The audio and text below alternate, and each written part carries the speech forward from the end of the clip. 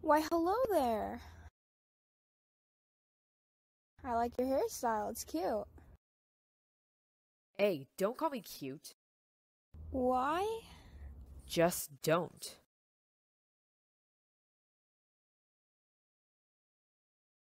Uh, so, what's your name? Oh, my name is Lisa Gray. Mm, okay. You go to class 105.